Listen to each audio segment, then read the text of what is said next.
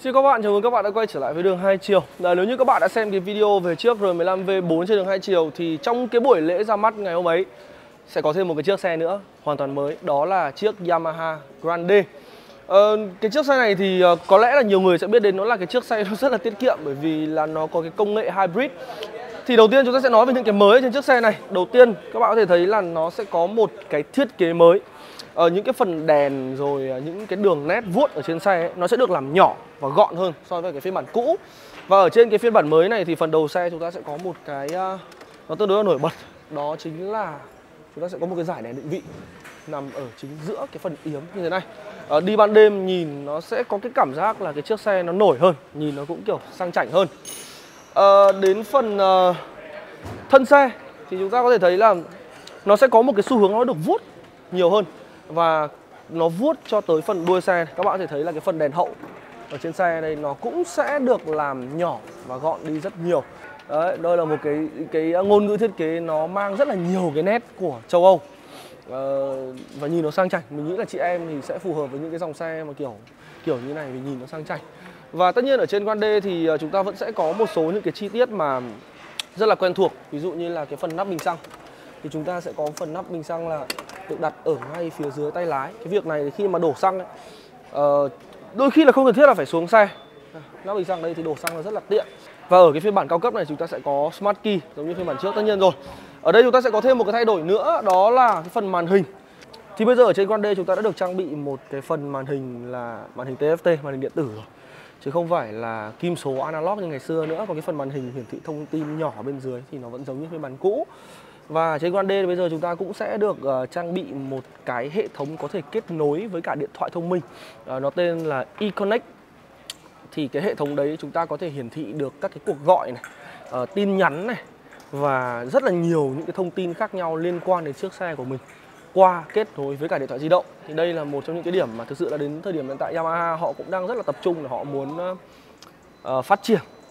Đó là cái sự kết nối thông minh giữa điện thoại và chiếc xe của mình uh, và nói về cái cảm giác tư thế ngồi ấy thì chiếc Grande này chúng ta sẽ có một cái phần yên ngồi rất là rộng. Yên này thì ngồi tương đối là dễ chịu đấy bởi vì yên nó rộng và cái cảm giác ngồi như mình cao 1m8 này ngồi lên trên cái chiếc xe này nó rất dễ chịu. Phần tay lái nó đặt cao vừa đủ và chiều rộng của tay lái ấy, nó cũng vừa phải để cho chúng ta có thể kiểm soát chiếc xe như là di chuyển được ở trong phố mà cảm giác là nó không bị quá quá là cồng kềnh và cái xe này thì nó rất là nhẹ ờ, theo công bố nhà sản xuất thì cái xe này nó nặng chỉ khoảng ờ, 100 cân mà thôi và nếu như mà ở trên cái phiên bản ờ, cao cấp tức là chúng ta có thêm phanh ABS các thứ thì nó sẽ nặng là 101 cân. Thì đây là một trong những cái điểm rất là lợi thế của chiếc Grande. Các bạn có thể thấy là với một cái chiếc xe mà nó nhẹ như này ấy, đặc biệt là với chị em đi lại hàng ngày đi lại trong phố dắt xe dắt ra dắt vào rồi lái xe xung quanh loanh quanh loanh quanh nó rất là nhàn và nó sẽ không bị có một cái cảm giác là nó mệt mỏi, nó áp lực khi mà đi xe ở ngoài đường. Và thêm một cái việc nữa là với một cái xe càng nhẹ thì đi chúng ta sẽ càng đỡ tốn xăng hơn. Và đấy là cái điểm lợi thế của Grande khi mà so sánh với những đối thủ khác ở trên thị trường. Chúng ta sẽ có một cái khối động cơ hybrid.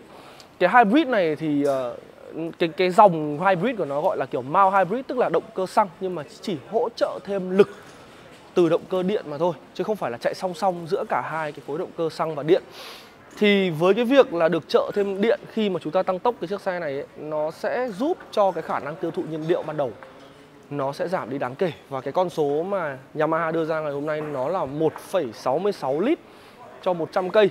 Tức là nó ít hơn cái phiên bản cũ khoảng là 0,3 lít 0,4 lít gì đó trên 100 cây.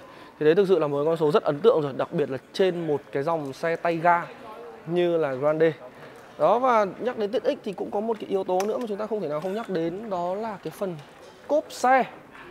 Cốp xe ở đây chúng ta sẽ có một cái phần cốp lòng tương đối là sâu và cái thể tích của nó thì ổn đấy. Trong này nó sẽ để được khoảng một cái mũ 3 phần tư và rất rất rất nhiều những cái đồ khác mà các bạn có thể vứt vào đây. Ờ, dung tích cốp là 27 lít nhưng mà cái cách thiết kế của Yamaha họ làm như này này thì để đồ nó không bị cộ cho nên là chúng ta sẽ vứt được đồ vào nó thoải mái hơn. Ok và đó là những cái gì mình muốn chia sẻ nhanh với các bạn trong sự kiện ngày hôm nay. À, về chiếc Yamaha Grande phiên bản mới thì nó sẽ có những cái thay đổi à, về ngoại hình là những cái mà chúng ta nhìn rõ nhất. Và bên cạnh đấy thì có một số những cái thay đổi về khối động cơ để giúp cho cái khả năng uh, tiết kiệm nhiên liệu của nó được tốt hơn.